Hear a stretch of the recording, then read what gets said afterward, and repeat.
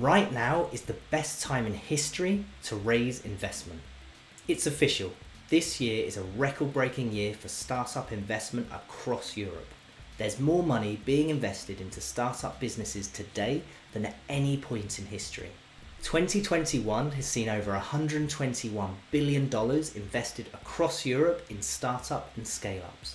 This is almost three times the 2020 record of $41 billion. With the financial uncertainty caused as a result of the COVID pandemic, this news may be a surprise to many. But I've been saying since the very start of the pandemic that we should expect exciting growth in the amount of money invested in startups over the next few years.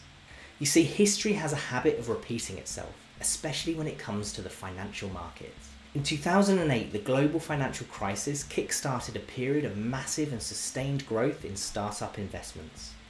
During one of the longest and deepest recessions of recent history that followed, entrepreneurial investments were on the rise, seeing growth of around 50% year on year for a number of years.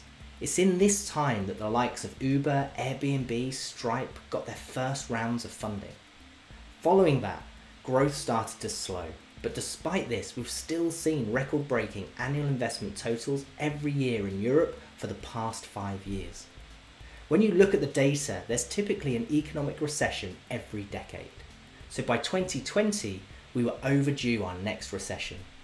We didn't know what would cause it, but many were sure it was coming Sure enough, COVID gripped the world and disrupted the markets, causing the fastest and most dramatic recession in history.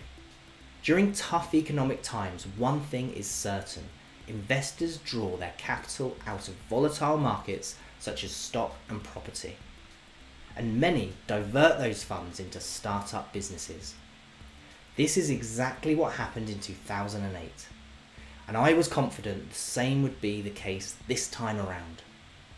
Sure enough, in 2020 we had another record breaking year.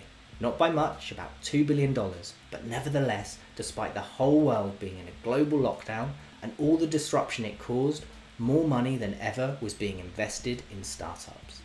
This year, as the world continues to adapt to the effects of COVID 19, we've seen exactly what I expected to see even bigger growth and even better news for founders. We've seen a flurry of investment activity as investors have turned their attention to the exciting potential of founders solving some of the world's most meaningful problems. As a result, we've seen year on year growth of a massive 300%. What's more, there's no signs of it slowing. At the halfway point of this year, we'd more than matched the 2020 total. Things were looking good, and optimists like myself were hoping to see us doubling last year's record by the end of the year. But this isn't what happened. We were only just getting started and momentum was building. It turns out that twice as much was invested in the last six months of this year than the first six months, meaning 2021 tripled the 2020 record.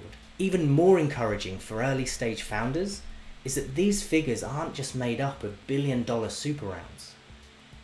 Europe actually accounts for 33% of all global investment rounds up to 5 million almost as much as the States at 34%. Europe is becoming a powerhouse of early stage startup investment, and the exciting thing is it's only on the rise.